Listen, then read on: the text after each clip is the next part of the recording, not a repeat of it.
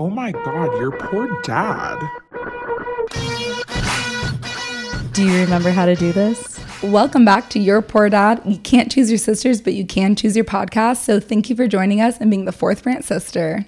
Welcome back, everyone. Welcome. But you thought you got rid of us, but you didn't. Can't shake us. You, we're just like sisters. Like you can get in fights with your sisters, but like they're still your sisters. yeah. Mm-hmm. Like no matter what, at the end of the day, they're still your sisters. Stuck with us, just like we're stuck with each other. Just like we were stuck with each other in Europe.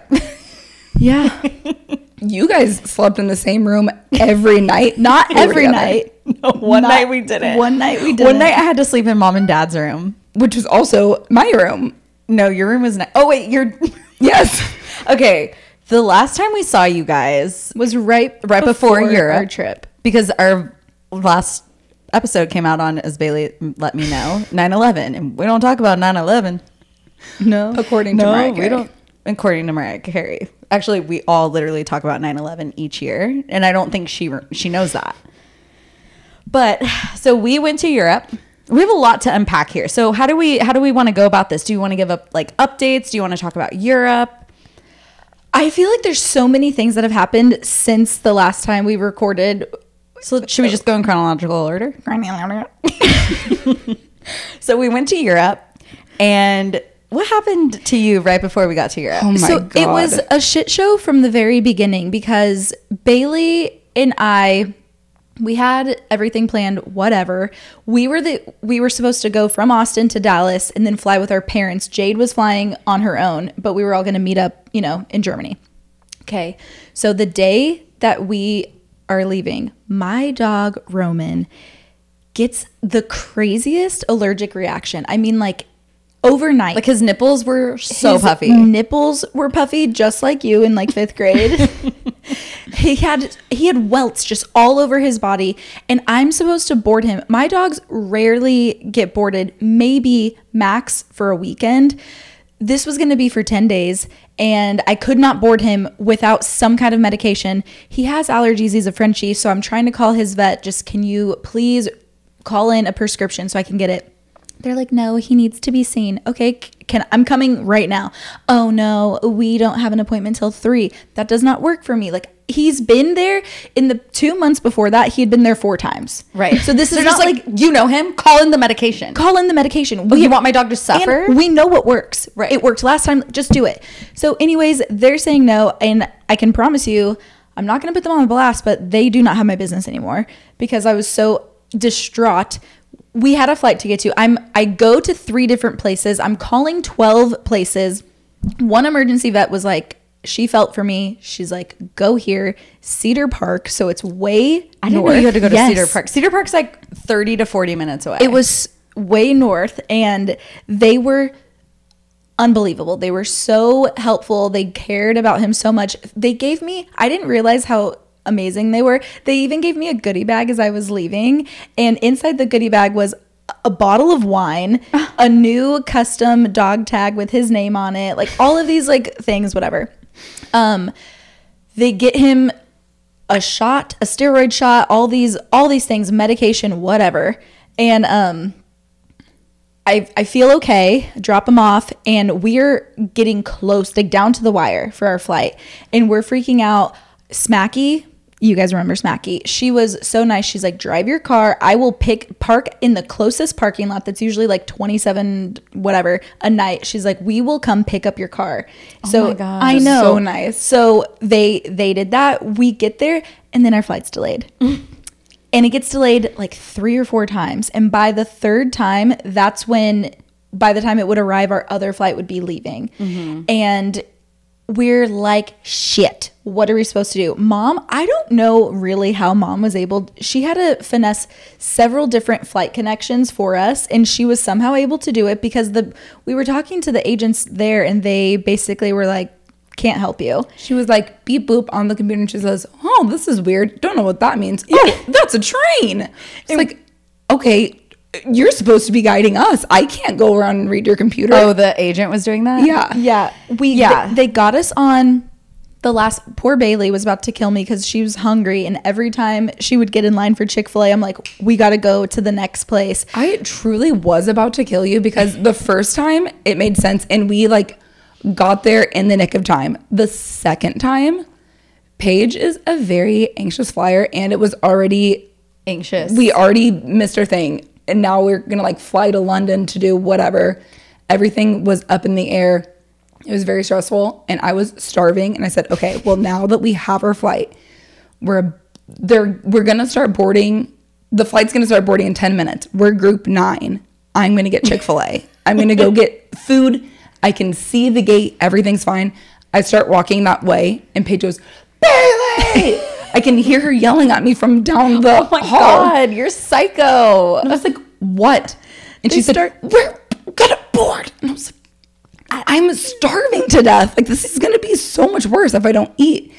And she was like, we're gonna go to 7 Eleven. So we got, I got as much food as I could. I got a cheesecake. I got a burrito. I got a Ew, like, what the Lunchable. fuck? From 7 Eleven. I'm trying, I don't know what I'm gonna want. I'm about to get on like a nine hour flight. I was starving. I hadn't eaten all day. Okay, yes, so this was my bad, and I'm sorry for that. But here's what's worse because this was a flight that we weren't supposed to be on, mom got us on, thank God.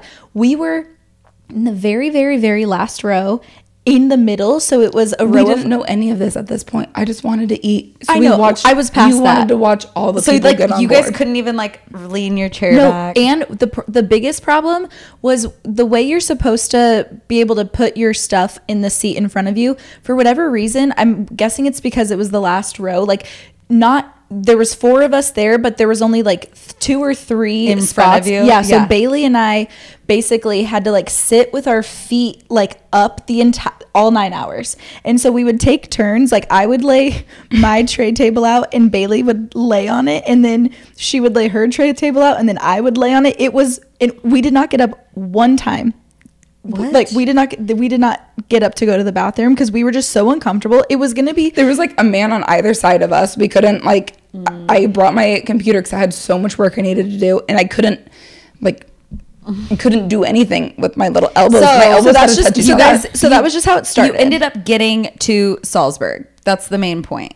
uh, yes, Yes. Thank God. So I meet up with mom and dad in the airport in um, Frankfurt, and which should have been all five of us meeting up in the airport. And dad is like literally like hunching over with this like huge backpack and he's like i had to get two bottles of jack daniel from duty free. And i was like why? And he's like because we can't get jack daniels in austria. He was like freaking out so i was like okay.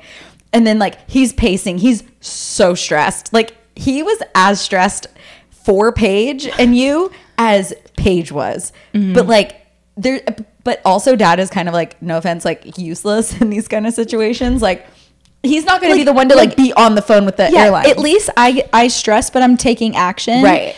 Like he stresses and he's like, and he doesn't know what to do. So it's like mom is mom is like kind of like doing some like weird shit trying to get to like some random Lufthansa desk. I'm like I need a beer. and finally we like get to Austria and it's gorgeous. Everything's okay. I don't think we need to get into the nitty-gritty Yeah. of every single aspect of our trip, but our trip was Salzburg, uh, Munich, Paris, home. And day two in Salzburg, Paige and I are like literally cats and fucking dogs fighting. Like we could not stop fighting for the life of us. yeah, yeah, it was bad. And It was like every little thing that I have ever done to you in your life mixed with like all of this travel anxiety. It just like I was irritating you and then I was reacting. yeah, well, he, from my memory, um, I thought like Oktoberfest was like me doing that. Like I was Oh, like, that's what I was talking about. I was like, yeah. Like we were, I was like- like going in. No, we were like at Oktoberfest in Drindles, which are just like traditional like German garb. And we like looked cute. We looked cute and we started off the day so fun. We like did this drive through the German countryside. It was gorgeous. And then we're just like sitting there and like we were there the first day of Oktoberfest, so they didn't tap the keg until 12, but we had gotten there at like 9. Yeah, and I honestly thought that we'd be able to have like other beer, Right, or like- some other type of drink. but we couldn't. It was so no we're sitting there stone cold fucking sober, which was our first mistake. We should have brought like roadies in the car or something. Honestly, that could have like been a good idea or a bad idea for you and I, but we're just sitting there eating these like terrible German meats. Like the gray meat that they served us, it was just in the rock disgusting. hard pretzels. And the rock hard pretzels. Like I thought this was your one job is to make like good pretzels. Like you're fucking Germany. It was terrible food, and Paige is just like I was like, I'm glad we're here. We have a couple hours until um, the festivities start, and here are some grievances Let I'd like to bring yeah, everyone's let me air attention. my grievances. Let me tell you everything that you've done to bother me the last year. okay, it was really like one or two things. But it was like one or two things, but like there was a thesis. De- like, what is it when you're like, or um, opening a wound and you want to like get everything out, like to be, it? To be, com- to be completely fair, when I first brought it up, what I didn't realize was going to be your trigger is when I Call me the most when I judgmental said person. yeah when I said that you were like the most judgmental. I thought that was something that you knew, and so because I was bringing up like the topic, and I was like. Yeah, I know you're the most judgmental person, but like you can't do this and this, and you were like, I. You were you seemed shocked that you that I would refer to you as a judgmental person, and I was like, wait, well, that's not the part that I thought was going to be no the argument. Here's the caveat: you said I was the most judgmental person you've ever met in regards to somebody's looks, which is just like categorically unfo- like it's untrue. Like I judge people's like decisions with their looks, like Taylor Swift style. We'll get into that. Like people's haircuts, like things like that. But like, oh my god, his nose is disgusting. Like I don't say shit like that. I didn't say you did. But that's like what it means like when you say people's looks. Like you should say people's styles because like a haircut is a style. Okay, Because you can control a style choice. but you I, I said you were the most judgmental person. well because I Because made fun. Let's just be honest. I made fun of somebody's haircut.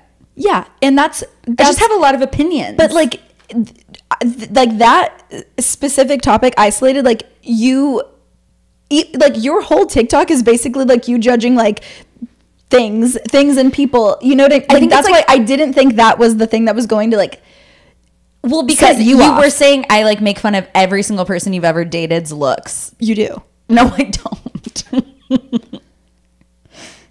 here comes Switzerland over here. I could not be more Switzerland because um, IDK because you said that about me too. about that person Okay, Yeah. let's move on. So we're fighting over that. Then the next day, we, I thought we were fine the next day No, the next No, day was we- when it was the worst day. but only at nighttime yet No, the next day we were fine. Yeah, I thought we, we were- recovered. But then at night, we had just like had it with each other. Like I had it with you, you had it with me, and we had to be separated at dinner because we were screaming at each other in this restaurant in Salzburg. It's like this old restaurant that Mozart used to go to. and we were fighting over like what we were gonna order because I was being bossy and you like hate when I'm being bossy. And like everyone else is kind of being annoyed with me, but we were day drinking. So we were all just like kind of annoying. But then me and Paige start screaming at each other. And then mom is like so sensitive. She's like, oh my God, get over here. Like, I don't like watching my girls fight and blah, blah, blah. And then dad kept saying, Can I just eat with my wife? And dad was wasted. Can I just have a meal with my No, wife? Dad didn't even know that Paige and I had a fight at the restaurant. Like, dad heard it from me the next morning no, I know. But then he was like, I didn't know that was going on. I had no idea. I was like, Why do you think mom had to leave to go uh, attend to you guys? I know. And he was like, I'm not leaving without my wife. He kept saying my wife. And I'm like, yeah we get it mom Do you mean my mom? Yeah, like Sandy, like everyone knows who you're talking about. You don't need to like double down. You know that they thought that you were going to flip the table. The waiter did. No, we didn't. Apparently, he told um, mom or something that he was like, "Oh, that's like on TV." So like something like that and I was like, oh, that's actually my people. Yeah. He thinks you're Teresa. I know, but we had no food at the time, so it would have been fine if I flipped it. Yeah. It would just been like water. yeah.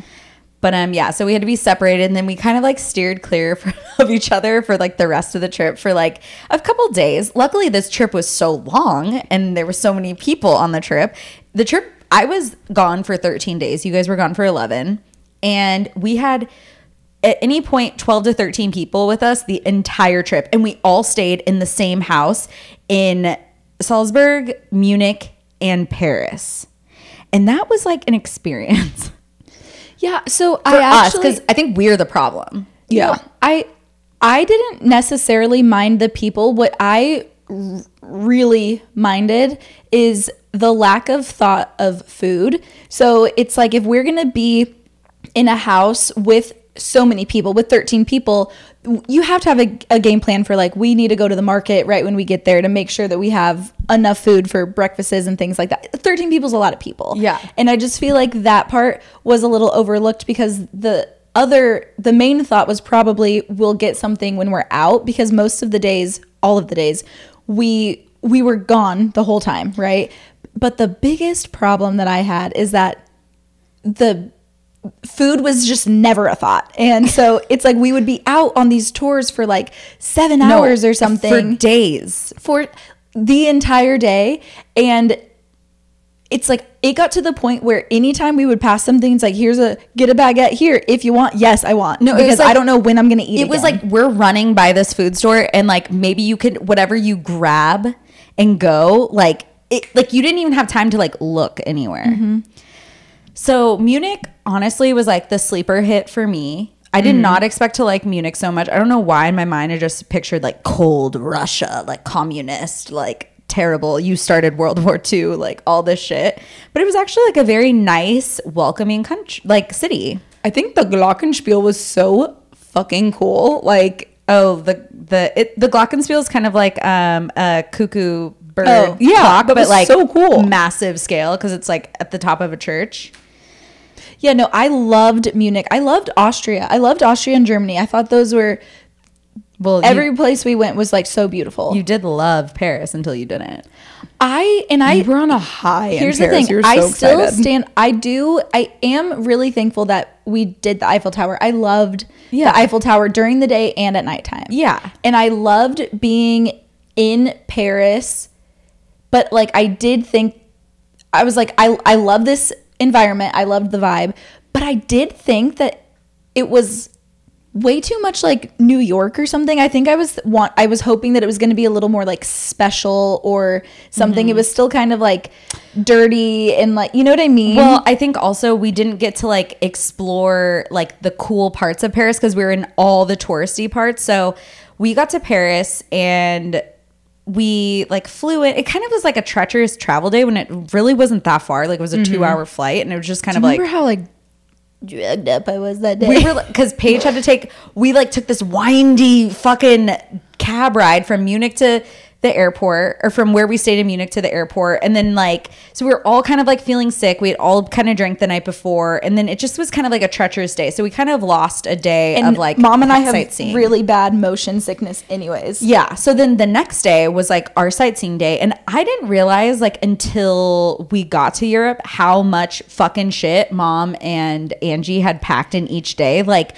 at 8 a.m., they were like, okay, well, we're all going to go out. Well, no, because the reason we didn't realize is because they would say we're gonna go tour Cinderella's castle. End of discussion. and we're like, okay, check that day's done. and what that no, but at first we didn't know that, and then it's like, oh, so what that means is we leave at eight because we have to, you know, it takes three hours to get Six. there, and th- and then we're there for, you know, it's it's Yeah. just like a whole thing. So it's like, oh, so we're not just gonna go tour Cinderella's castle, Right. So the next day in Paris was like our own your guys' only real full day in Paris.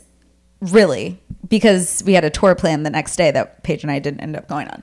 So we get up, everyone's like leaving the house at 8 a.m. We're like, oh fuck, like we gotta get ready. We leave the house, it's pouring rain. We're like having drinks. So all we had at this point in our belly were, was just like champagne and a croissant and we go we go to the Eiffel Tower. It's kind of like not the best area of Paris. It's like kind of just like touristy. It's kind of just like blah. We go to the Eiffel Tower. We spend a lot of time there. That was pretty cool. Then we meet up with everyone, go drink some more. Oh, we're also drinking at the Eiffel Tower, and we like shove like a sandwich down our throats to kind of eat because we're just like, oh, like we'll just eat. But like little did we know that was gonna be like the only food mm-hmm. that we had that day.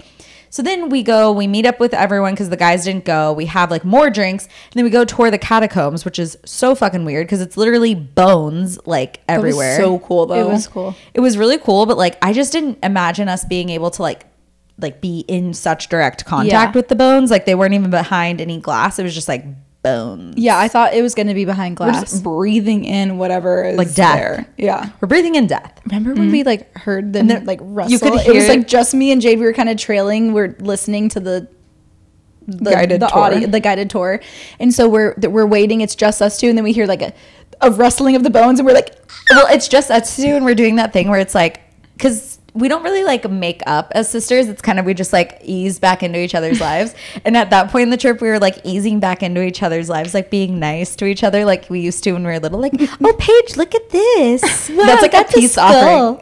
Paige, look at this bullet hole in the skull. It was like a peace offering. And then we go take a train to the Champs Elysees, which is like the rodeo rodeo, rodeo drive, and I lose my fucking mind. Th- which is My head started for spinning. you in in those situations. Oh, I was like, when I get to a point where like I am done with something, I cannot see straight. I cannot make a decision to save my mind. I'm like, I want to go here. No, I want to go here. I don't want you guys to come. No, I do want you to come. Like, I was like, I just need to eat. And my mom was like, Well, we actually want to go see the Arc de Triomphe. And then it's too expensive to eat around here. And I was like, That's the thing that drove me crazy. I was like, I don't care how much it costs. I want food. Yeah. I was really mad at Jade because I asked her before before anything. I said, "Okay, I need you to be my ally. We're gonna like I really want to like have a food memory here. Like I want to just be able to like pop into a place. We can break off. We're adults like let's like be able like let's be flexible. Like they keep saying that we can break off if we want to. Yeah. And then I was like, "Okay, Jade, this is your time. Do you want to like go get But something to eat?" And I was like, think straight. I don't know. Like all eleven pairs of eyes like turned to us, And it was just and like Jade was like, "I don't care." And Well, like, so it was.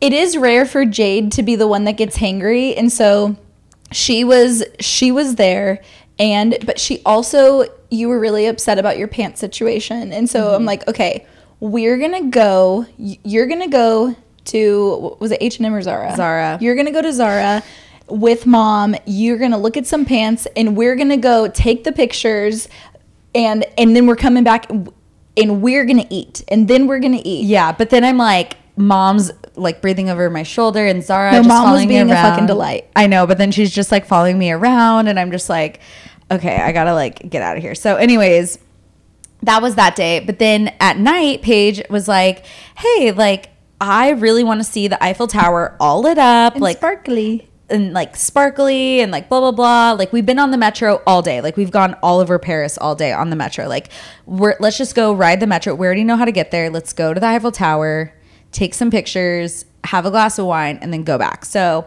we get there. We the only time it's just the three of us. literally the entire trip. So we had like a really we split a bottle of wine, we had some escargot. It was like such a fun sister moment. We took some pictures by the Eiffel Tower, like we saw it like light up and it was just really cute. So we're like, okay, let's go home. Let's go find a bar close to home let's like ride the wave. Then we're on the metro, two stops before. And I I can't stress this enough. Like we had our bags on, like we were on guard the entire time we were in Paris because we know how big of a pit pocket city it is. And so we're like, okay, like we have our shit on us, like phones in hand, shit on us. We're like getting We're closer to the about to we're get about to get off the door or the door. We're right by the door because we're about to get off at our stop. And Paige has her phone out. And this guy comes around me, reaches around me because I had my phone right here and mine was closer, but I think yours might have been just out more. He grabs her phone and like runs. And we like, I, I let out a little yelp. I was like, ah! and we're trying to open the doors. Ba- Bailey's trying to like hit the, the exit button. Like none of that fucking worked. So the guy's gone. And we're just sitting there stunned. Like I was so stunned. I was like, my brain only registered a phone is gone. And I looked down and I was like, oh, my phone's still here. So it must have been her phone. And you were there. And then Paige starts screaming at us. She's saying, find my iPhone. and we like we didn't know what to do. And like we were actually live on your poor dad's Instagram. So I go on my Instagram, and since it's such a lag, I'm screen recording the because when I opened up the live, we were still live. He's like, he, he just stole a phone. but then like I screen Yeah. record it, and then you could just see the phone get jostled, and us be like, well, everyone on our Which, live." by the way, so it's like my arms like out in the metro. Jade's like also trying to like open it. Bailey's literally pressing. Did it say like emergency open or emergent? Like it said Emergency. said. It said okay. emergency. So Bailey's pressing the button. None of that works. So if you guys are ever in that situation, um, the button doesn't work. So Yeah. the doors are not gonna reopen. So Um, that sucks.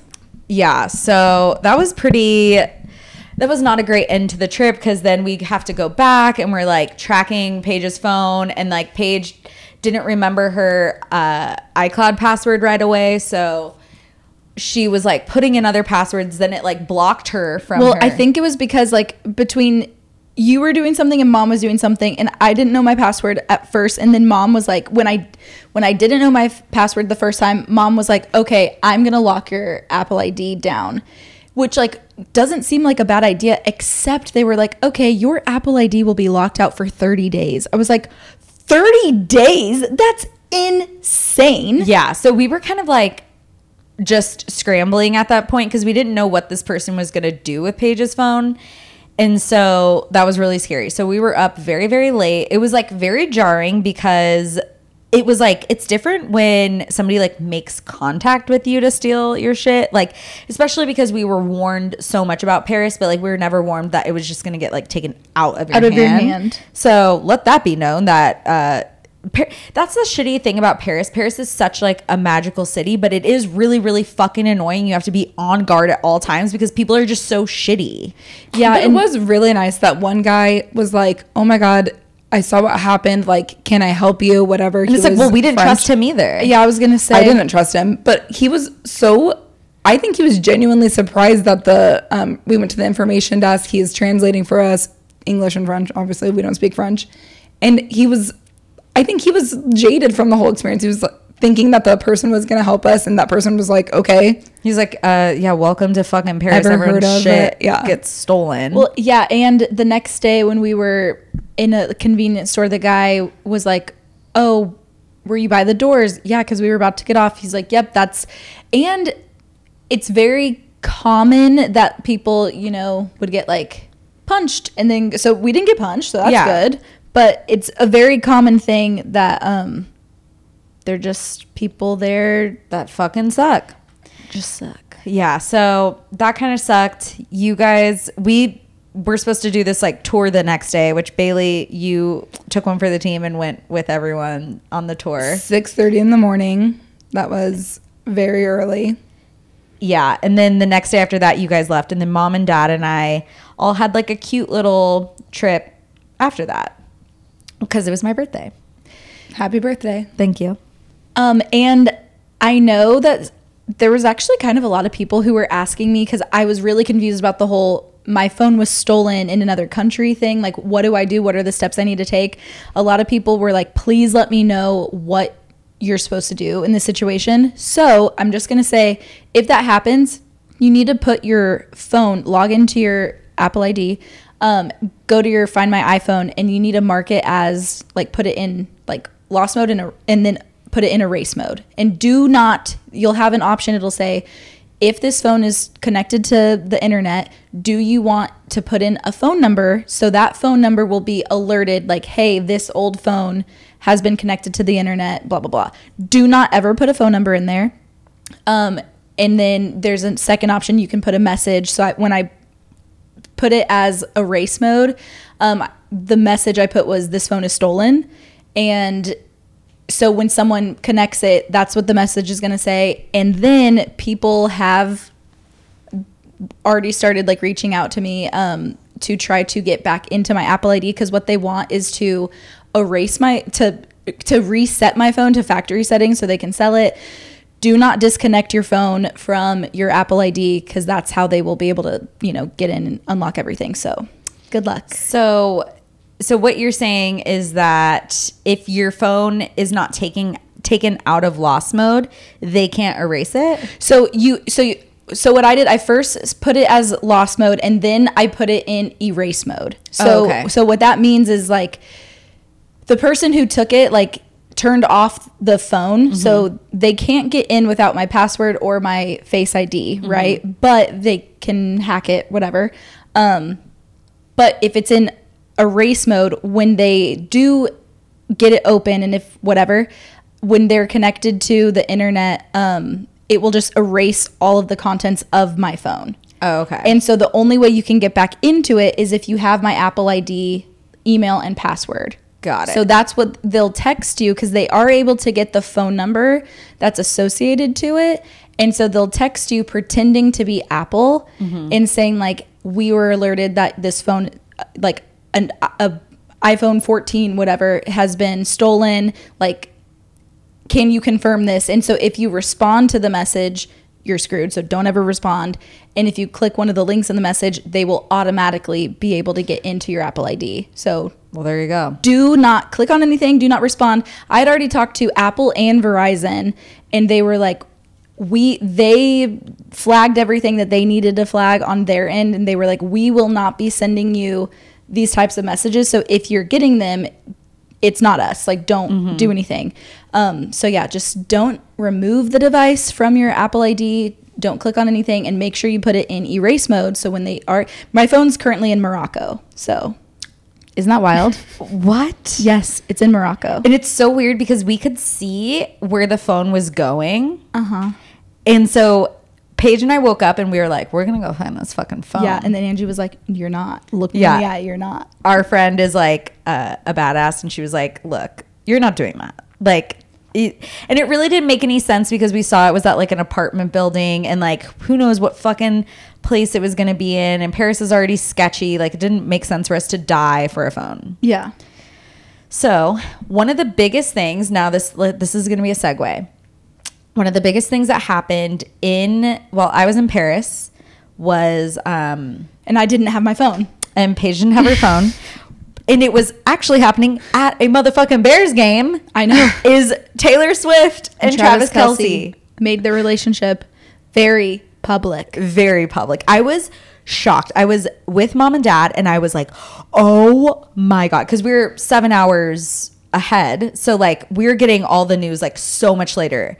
And I'm like, Taylor Swift's at the Chicago Bears Kansas City game. And dad's like, what? and I was like, this is so funny that Taylor Swift and Travis Kelce chose to make their relationship very, very public when he's playing the Bears. Because he was mm-hmm. probably like, okay, which game do I want her to come to to make me look the best? We're going to do it against the Bears. Mm-hmm. And we say that as Bears fans, obviously. Right. But okay, so now this is, she's been to what, four games? Because today we're recording it Sunday. And she just came to the, what, who are they playing right now? I knew that. Uh, the Chargers. Okay, but they're in Kansas City because we just saw Taylor Swift. Okay, and I want to ask your guys' opinions on this because we got pictures. I was fucking right. It is the Chargers. I'm a, I am Wow. amazing. Um, so Taylor Swift was at Travis Kelce's game, Travis Kelce's house pre-gaming before, or we don't know if she was pre-gaming, but she's just like watching the other games with members of Travis's family, other people. Somebody posted a picture. It's some like old football legend.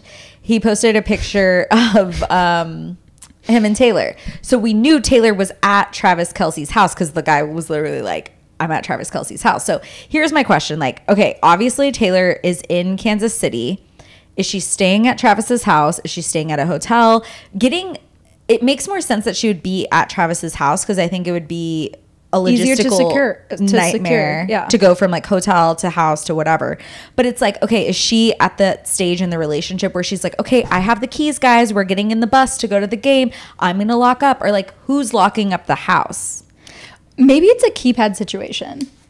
Okay, but like, is she? But you still kind of have to have a sweeper who's like getting everyone in, and it's Yeah, no, usually like the girlfriend. No, because they're ushering her into the car Right. before the car exits the gate. And then there's somebody who's going to be, okay, you know, everyone's out. Let me just, you know, make sure the windows are closed, the doors Yeah. are locked. That's not her. Yeah. but not because But I also think that Taylor likes cosplaying as like a normal girly. So I think she like probably like is like, okay, I'm gonna lock up, and then they have someone who's actually like walking behind her, like actually locking up because she's like no, okay, she's not incompetent. Like if she, if she's, it's she's a like, pretend keypad. yeah, she's Yeah, not she's like- pretending to lock up. She's like doing the key motion, like improvising. Okay, you're insane. No, that's she's just not doing it because she's got other things to do and someone else has to lock up behind her. I know, but I really do think that she likes. I think first of all, I think this relationship is really good for her, and I think that she likes feeling normal. Like Yeah. she says that in all of her like behind the scenes, any sort of like nugget we get from Taylor, she likes cosplaying as a normal girly, but she also is well aware she's not a normal girly. Mm-hmm, mm-hmm. Which is why I think she like really likes hanging out with Brittany Mahomes and the girlies. Like I think she like likes having that connection to like real life because I think that's also very like it will inspire more shit for her. Yeah, I agree. Um now there's something that I said that was okay. Can we talk about her style? Who the fuck is styling Taylor Swift? Do you think a Taylor is styling Taylor? No, I think that she has a stylist 100%. And I think that the stylist is going to be like, okay, this is what I think you should be wearing right now. And Taylor's going to be like, this is the vibe I'm feeling right now. So I'm going to choose XYZ. And then, you know, she gets it.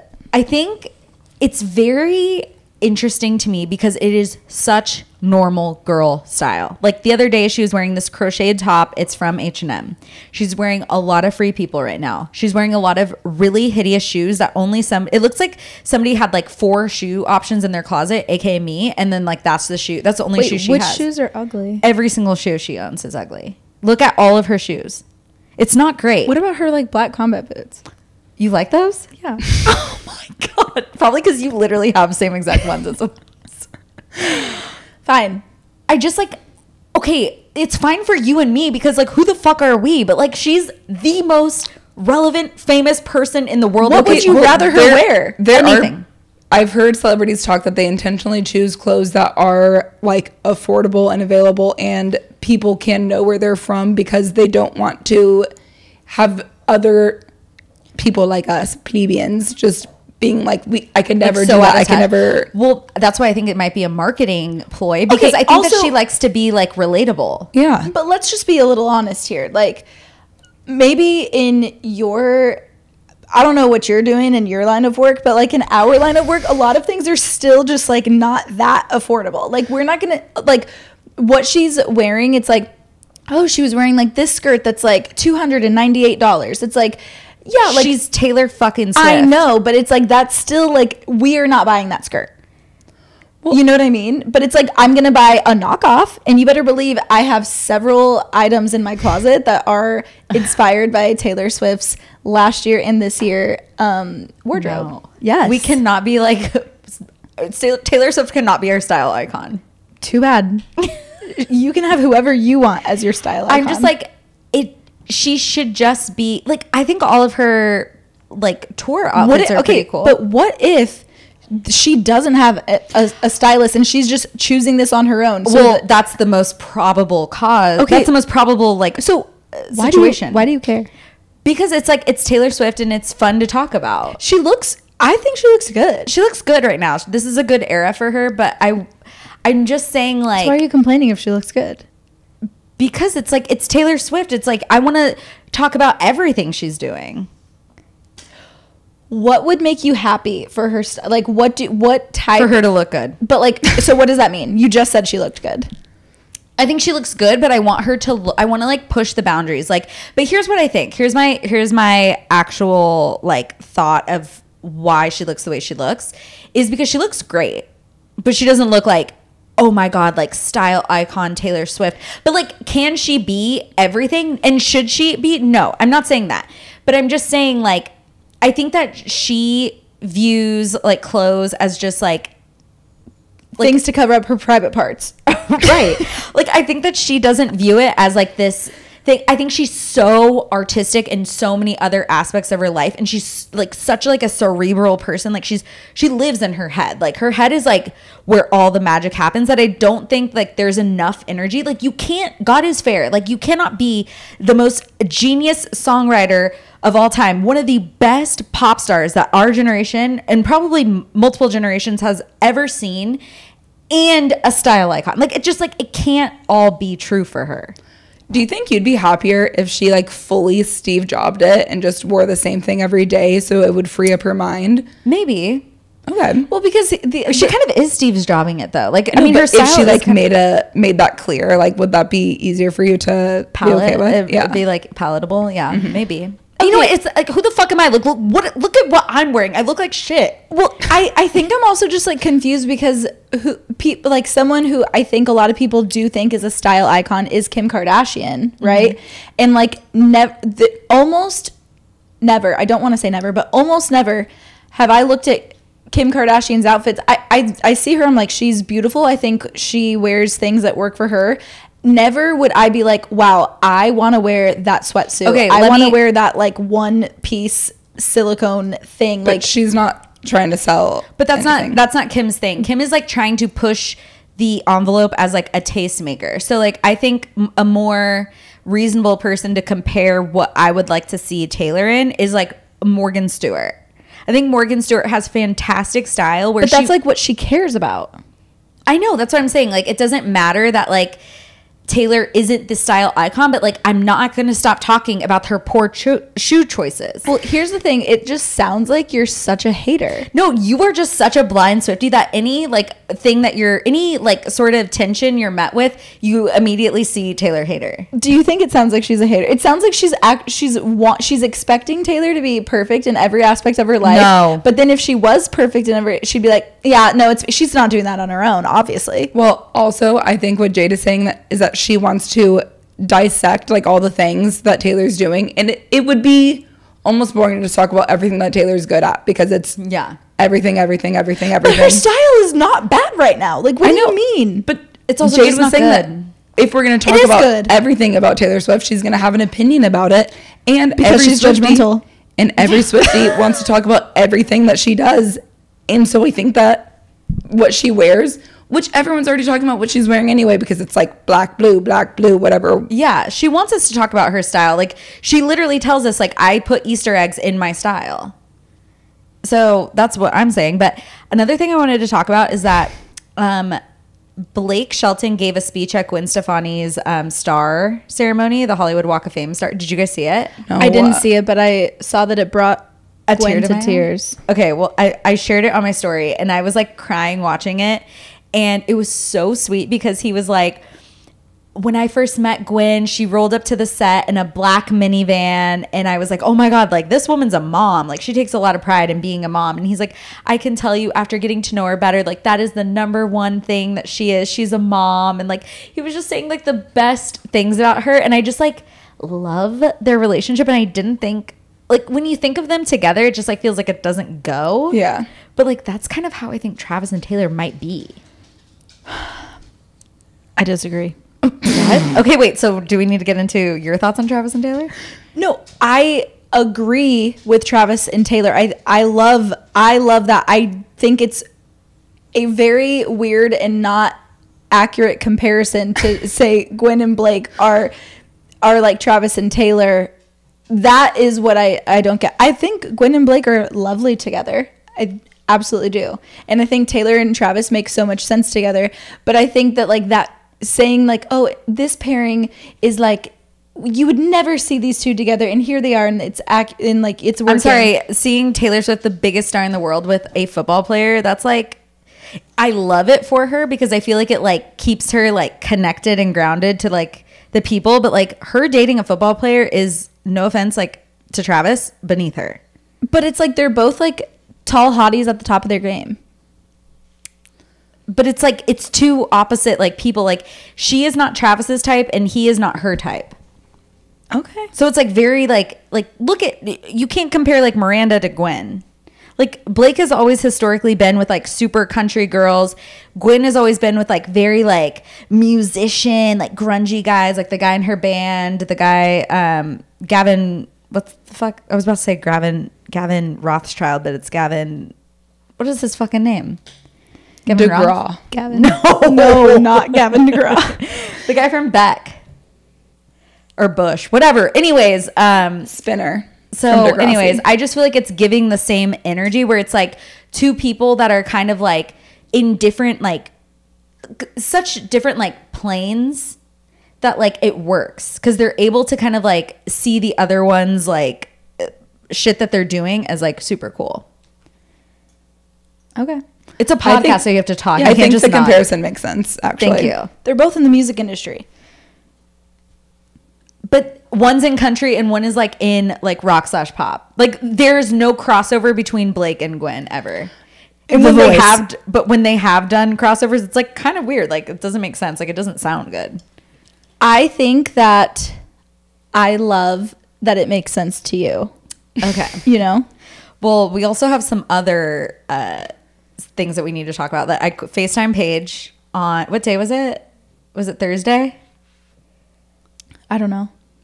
What day is Um, it today? It's Sunday? Sunday. Sunday. It might have been Thursday. I. FaceTimed you and I go, guess who is getting a divorce? And she said, oh my God, don't say it. And I said, it's one of your girls. She goes, not Maren, not Maren. and I said, it's Maren.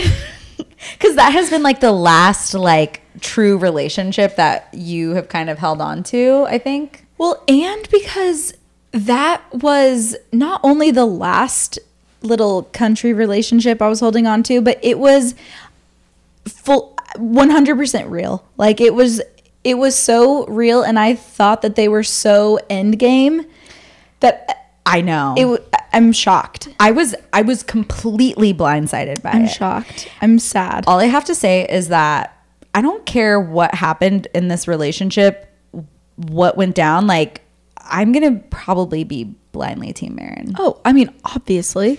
But it's like, I don't even know if it's like uh, something bad on her. For some reason, it's not giving her pro like her doing. But I, but like I, even if it wasn't like Team Maren. Yeah, I mean, obviously, like always going to be Team Maren. That's that's fine. I really hope. What I really, really, really hope. I. I'm just gonna say. Maybe I'm gonna sound stupid. I do not know Ryan Hurd, but like I feel like I do, and I do not think that he is the type of man who would cheat on her. But maybe. I think he cheated on his last girlfriend to be with her.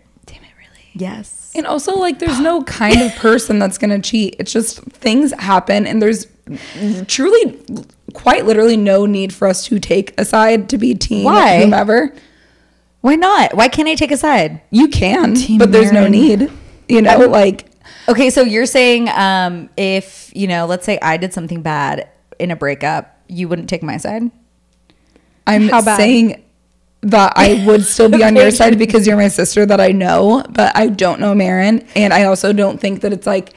I don't think Maren's the kind of person who would cheat on someone, or I don't think Ryan Hurd's the kind of person who would cheat because on I'm just saying, like that is typically like what we see the most in the headlines. Like someone cheated on someone, and now they're getting a divorce. Like, and I don't think.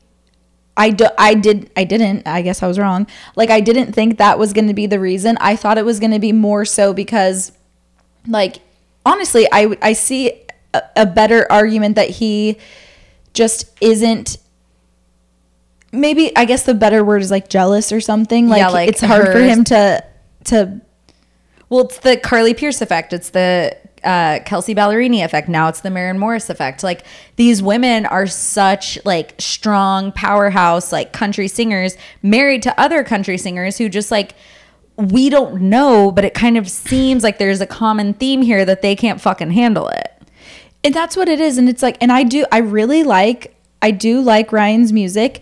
It's just It's just not as good as Maren. it's just not as good and like he's not he's not it just seems like she's doing more like she's doing more to like put her music out there to be seen so Oh, so- you mean like a woman's working harder to get like more or like exactly you know what I mean? and and honestly i'm not Well said. Thank you. like with the whole kelsea and morgan of it all it's like that's just embarrassing like that What? he even keeps like trying. Honestly. No, like Morgan Evans. Imagine being so. Okay, segue. We went to ACL. we went to ACL. And um, Paige and I went to see Morgan Wade because obviously we wanted to see Kyle Richards. Mm-hmm. And I'm like, film. We are like, we are literally just there to get a glimpse of Kyle Richards. I mean, Morgan Wade is good. We have a lot of notes for her. She was. She sounded amazing. Yeah, but there was like she needs like a little extra like spark, like a spark or a, Well, and- sp- a f- you know, it's like a personally personally i think like a little a little like crowd conversation would go a long way A little crowd conversation. Throw in a cover. You you made that point, which I thought I was feeling the same thing. Like you need to kind of like because we're all just standing there. We're like, oh, this person sounds good. None of us know the songs, but you need to like connect with the crowd a little bit. Like even when we saw Pink last year, she did so many covers and it was mm-hmm. so fucking good. It like felt like you were at a live show. and it just like re like it re-excites the crowd so it's like you can listen to somebody and it's like wow okay like they're really good but i can only get so into it because i i still don't know these songs but if you just end the song with like maybe even 30 seconds or less of a cover that everyone Wait, knows what was the one that you thought? it was like i think it was like pearl jam or something Oh no, it was Antihero. Oh no! What I said what that she Karma. should do is karma. Yeah. I said because there was a song that was either called karma or she was saying karma a lot in her song, and I was like, now what she should have done is at the very end of that song went into Taylor Swift's karma, and because uh, that was the that would have been the vibe. Like Yeah. the people who were there. Everybody, um, we're back. I spilled wine all over Jade, all over the chair. Um, But you honestly can't even tell. You just missed like a little I'll mark right here. But Dawn Powerwash, per, Powerwash, Dawn uh, honestly takes out the wine. yeah, So, anyways, what were we saying? Bailey. Paige was very passionate about um, artists doing something. That was why she was gesturing Oh, wildly. Because the Foo Fighters had Shania Twain. and it was just amazing. Like That was amazing. respecting artists. we love when artists respect artists, but also can we talk about like the way I felt at Alanis? the way I felt at Alanis, like I cried at Alanis. Like Like so did I. We all did, I think. she was so good. She was so good. She made me feel something. I think I just expected to feel at Shania the way I felt at Dixie Chicks. You were just confused by the wig. the chicks. No, I wasn't. The wig didn't bother me. It was Oh. the the choice of her set list. See, her set list didn't bother me. her set list bothered me a lot. I know. It bothered me too. It did. Talk about wanting to do like connect with the crowd, have a cover. Not, I don't think she even needs a cover. She doesn't should need a cover her Just sing your fucking song. She wanted That- to connect a little too much with the crowd, in my opinion. Honey, Honey. yeah, she was like, she made us do a lot of crowd work, and it's like, okay, when we saw the Dixie Chicks, they started out with Sin Wagon, The which Chicks. The Chicks. sorry, the Chicks. They started out with Sin Wagon, which was such a good one because it's just like a powerhouse song. Like they had this like this uh, montage of like their whole career. It got you like super fired up. It got them like it got you like in the mood to see the chicks. Then they came out with Sin Wagon, which is just like such a fucking banger. And then they came, they did like their songs, and then some of them were songs that were like newer songs that weren't just like you know they didn't have like a lot of like uh soul connection to them for me personally um but then they came in and like ended it the last like hour of the show or however long with all of their hits shania starts out with up now up is like sure up is a a hit to shania it is not a banger to start out a fucking festival with like i need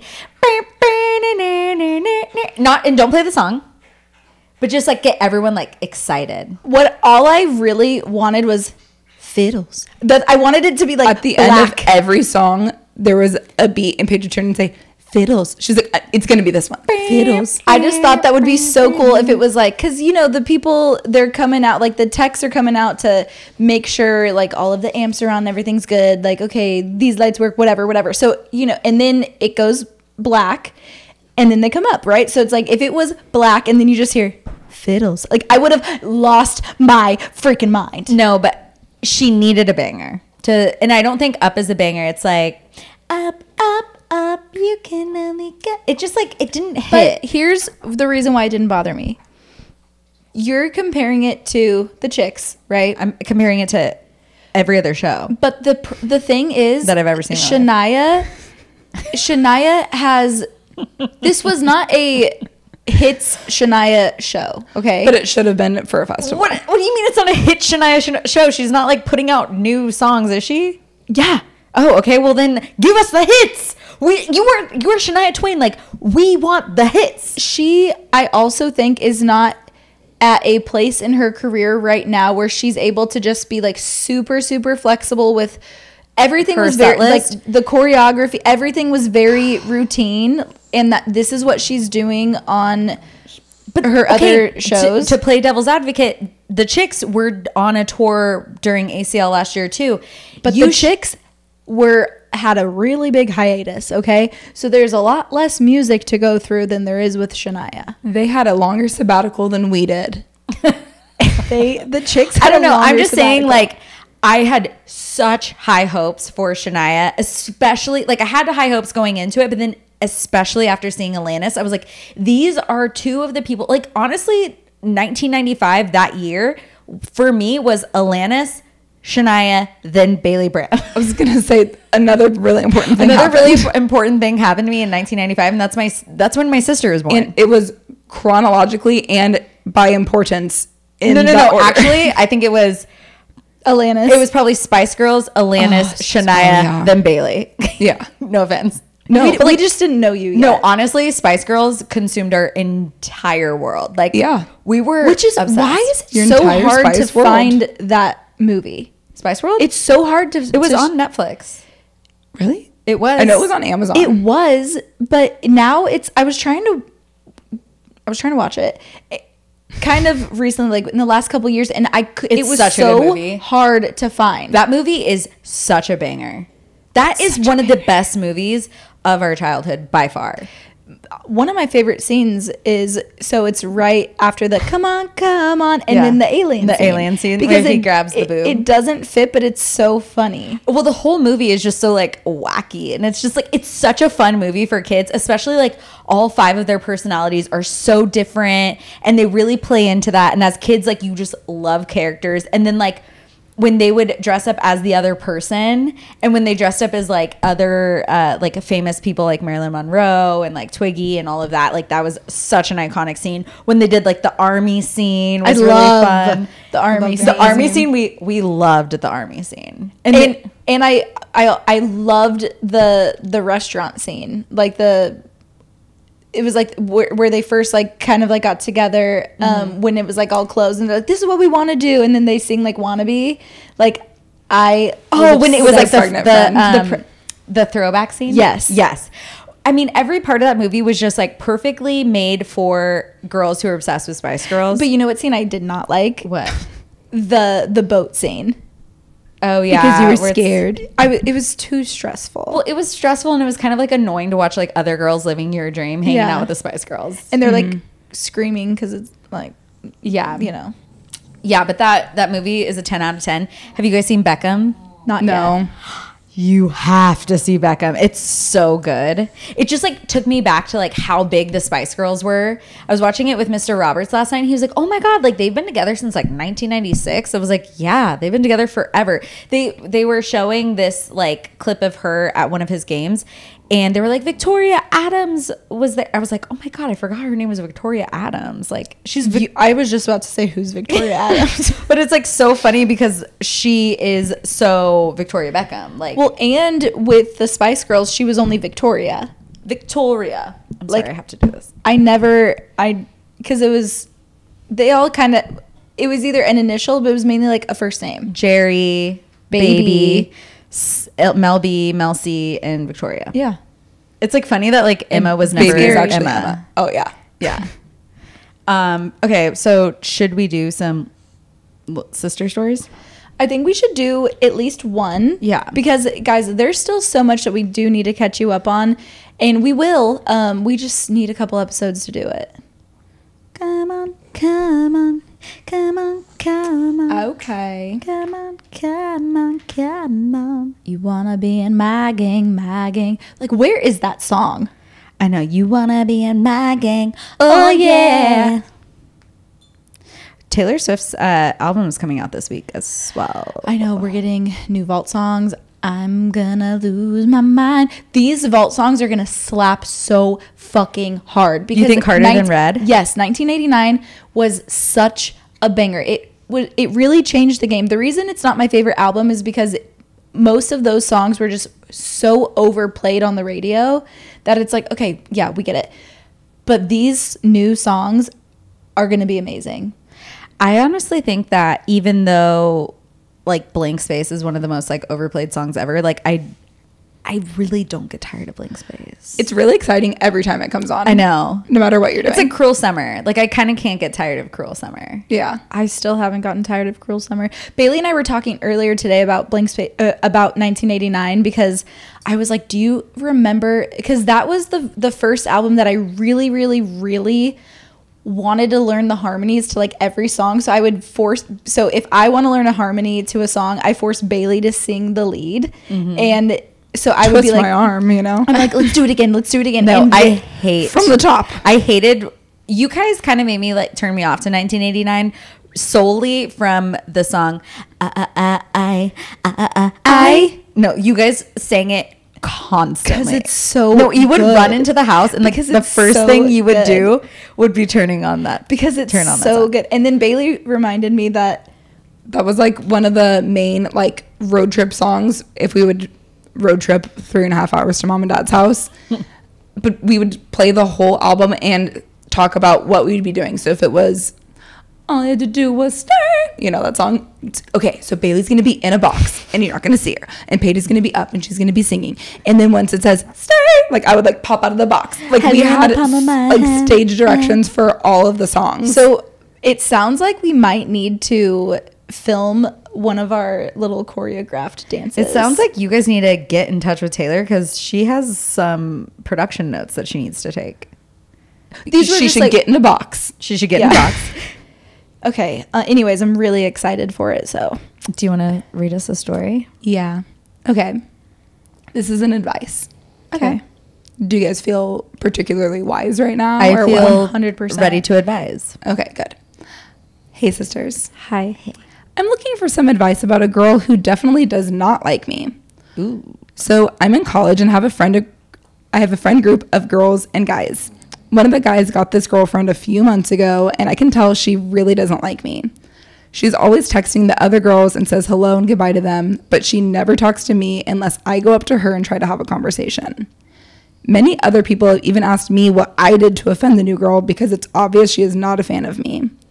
I asked the other girls in the group what I could have done, and they are just as unsure as I am. I genuinely, I genuinely cannot think of one thing that I could have done. I've tried making plans with her to hang out to get to know each other better, but she n- never follows through. So, what do you guys think I should do? Thanks. okay, this person just like doesn't like you and there's no need to try to like force yourself on them. The best plan of action you can do is just keep living your life, having fun, being you, and hopefully she'll come around. And if she doesn't, that's like on her. But like you kind of are in like a good power position because like you are in the group because you're friends with everyone. Like she's only in the group because that's her boyfriend's friends. Yeah, the more attention you give it and the more life you breathe into it is only going to make it a thing. If it's just I'm hanging out with my friends and this girl is here and she's welcome, then cool. But if it's like, oh my gosh, Sarah is never talking to Jane, and then it's a thing, then Yeah. just it, it becomes more of a big deal. Yeah, and it sounds like you. It sounds like obviously you care because why does this girl not like you? But but to Jade's points, like you don't need to care that much. You're not doing anything. If anything, the you're going out of your way to try to hang out with this person to see what's going. You know, to try to get to know her better. Um, she just doesn't like you, and that happens. And I think that you just need to do what Jade's saying. Like you're hanging out with your friends. You're not going out of your way to make her feel uncomfortable. And Yeah, I would like I would definitely not go out of your way in any way. I wouldn't be like going out of your way to like be mean or to be nice. I think I would just like let it be and then if she talks to you, you acknowledge it. Like if it makes sense for you to address her, like address her, yeah, but like if it feels right, then you can say like, hey, like I feel like we're not as close as the other girls. Like, is there a reason why? I, I- personally would kind of like let it sit for a little bit. No, I agree. I'm saying if the if there's a perfect situation and Yeah. you're, you're itching. Well, this actually reminds me of something that happened to me back in the day. One of my guy friends had a girlfriend at the time, and they were always around, and she just like would never acknowledge me. She fucking hated me. She did not want to be around me. It's because she thought that like I was like like had something to do with like maybe like a past girl he had like I don't know mm. had a dalliance with, and so I was just like the symbol of that to her. Like even though I didn't do it, I was just like the symbol of it, and I just like took my time. I was patient. Eventually, she came around, and now she's like one of my very closest friends. So it's like, or yeah or, or um remember when i went to visit bb Mm-hmm. like that girl loves him like that girl likes him so much so she was never going to give me the time of day you know what i mean because i was there visiting him so that could well, be in that situation, you were our listener. exactly so Yeah. i'm saying like i'm saying this girl wait hold on what am i saying No, in No. that situation, you were the listener, and then like the girl wasn't going to give you the time of day. But like you could still apply it to no matter what situation you're in. Oh, I think my my whole point is like, what if this girl doesn't? What if this girl thinks that she, like that our listener is like threat. liked? Yeah, she's a threat, or she liked him, or something, or that like whatever that may be. It's like That's the only thing I can truly think of that why this person wouldn't like you because like why would she care if she's friends with all the other girls? Like she either like has made up something in her mind, like maybe you're like super fucking hot. I mean, if you're listening to this podcast, you probably are. Mm-hmm. So she's or what if your bo- her her boyfriend? What if he was like? What if she's like, oh, have you ever like dated any of your friends? And he's like, no, but like I always had a crush on like that one or whatever. Yeah, like you don't know what he's told Yeah. her. So she's probably th- the only reason why girls usually act like that is from some sort of like insecurity. And it's based off of like usually a guy making you insecure. Like, I feel like rarely at that age do you just like go after a girl for no reason. Like, Yeah. it's always like because of a fucking guy. especially if she's friends with all of the other girls. Yeah, it doesn't make sense. So I think you give her a little grace because like she is we've all been there. We've all like felt And she's a little the group. insecure about mm-hmm. like another girl because like a guy has kind of made that situation feel insecure. Sorry to blame the guys, but like it's usually their fault. And mm-hmm. so us women we need to like start thinking like in this like high level way where it's like oh okay like let's give each other like a little bit of grace on both sides like you're that girl needs to be giving you a little bit of grace because you obviously don't know what's going on and there's probably like something going on Yeah, I agree. it has been such a delight to be back. I feel like this is kind of like, you know, back to like our OG days. Like we were giggling, we were laughing, we were talking through our fights. Um, so we have some exciting things hopefully in the works for us. So you know what to do. Please, you know what? Now more than ever, we need you to Truly.